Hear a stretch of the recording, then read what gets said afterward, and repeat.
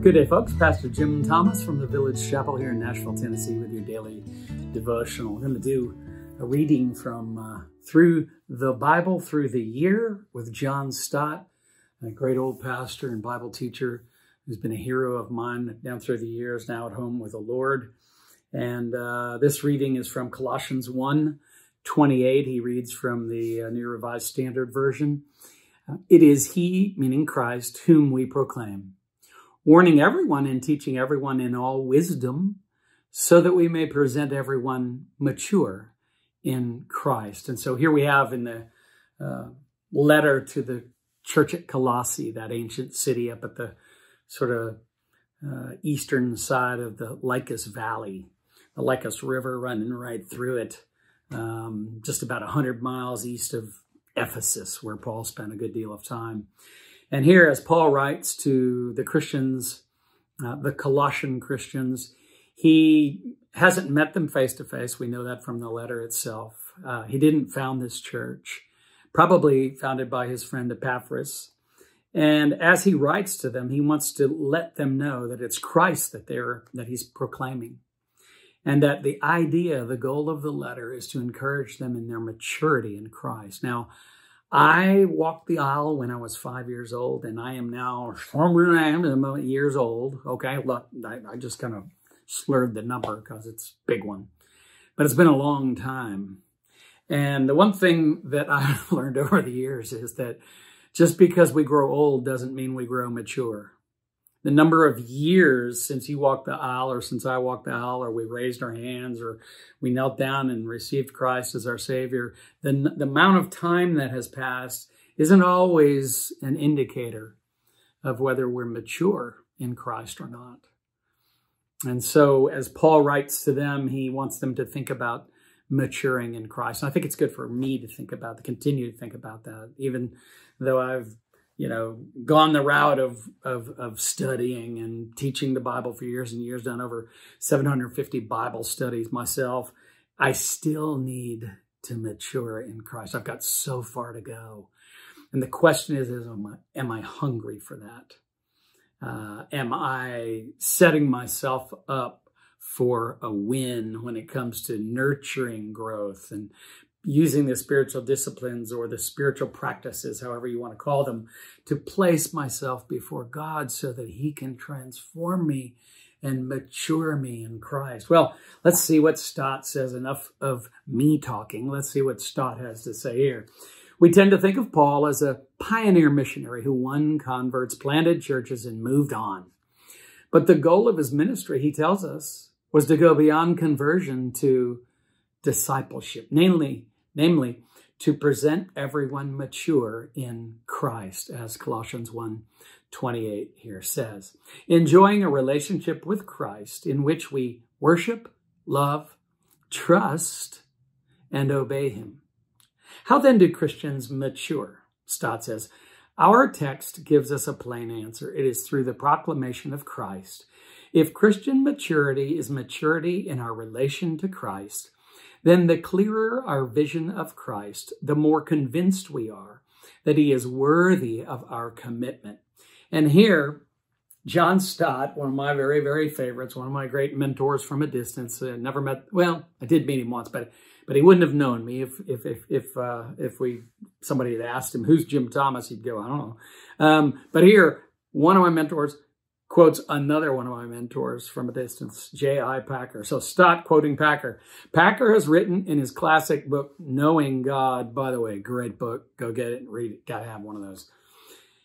He says, uh, Stott says, Packer has written in his classic book, Knowing God, we are pygmy Christians because we have a pygmy God, or indeed a pygmy Christ. The truth is that there are many Jesuses on offer in the world's religious supermarkets, caricatures of the authentic Jesus. There's Jesus the ascetic. There's Jesus the clown of Godspell. That's the musical that some of you probably haven't heard of, but um, nonetheless, uh, uh, presentation of of uh, one idea of who Jesus uh, was, according to that particular composer.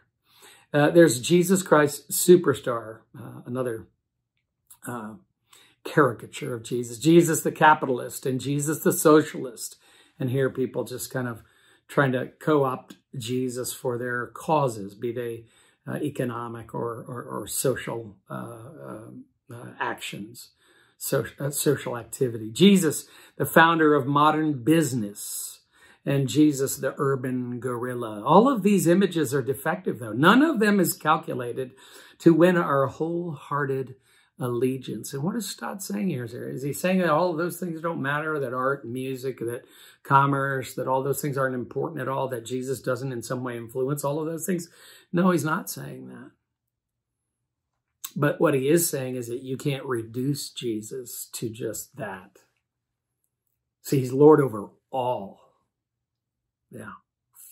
He's Lord over me. He's Lord over my uh, citizenship. He's Lord over my work. He's Lord over my creative efforts. He's Lord over my marriage. He's Lord over my being a son to my mother. He's Lord of everything. Lord means Lord. Uh, wholehearted allegiance is what that's calculated to uh, to bring about when we hear him called Lord.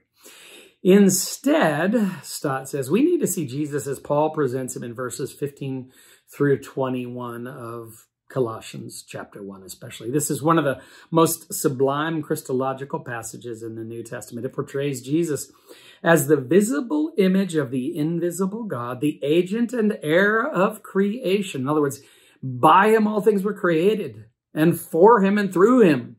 See, this, it's a profound chapter. Go back and read Colossians chapter 1 again if you haven't read it lately. It's powerful that way. Christ is also the firstborn from the dead so that in everything he might have the preeminence. Indeed, the fullness of the Godhead dwells in Christ and has reconciled all things through Christ.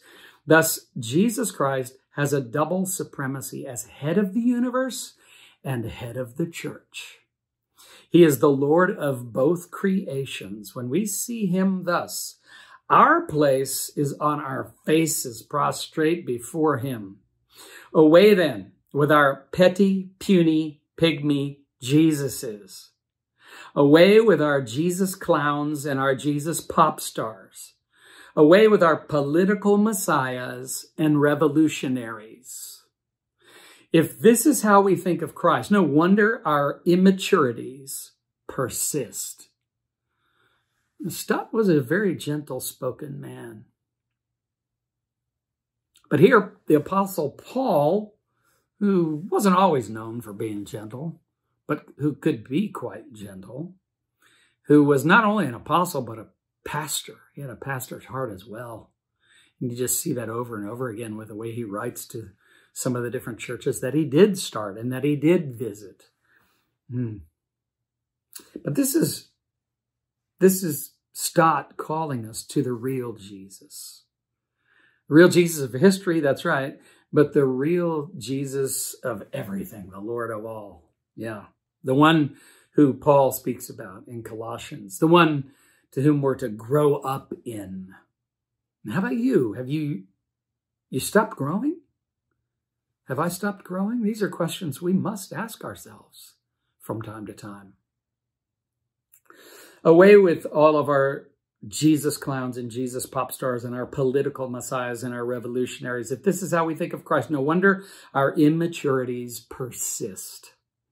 If only the veil could be taken from our eyes and we could see Jesus as he is in the fullness of his divine human person and saving work, then we would give him the honor that is due to his name, and we would grow into a mature relationship with him.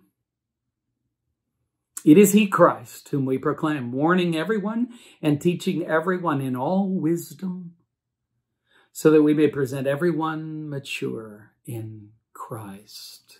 Let me pray for us. Lord, have thine own way with me with my brothers and sisters this morning. Have thine own way with us. You are the potter, we are the clay. Lord, make us and mold us, grow us up, and may the uh, net result of all of this be that we have hearts like the heart of Jesus, that we see others with the eyes of Jesus, that we see ourselves with the eyes of Jesus.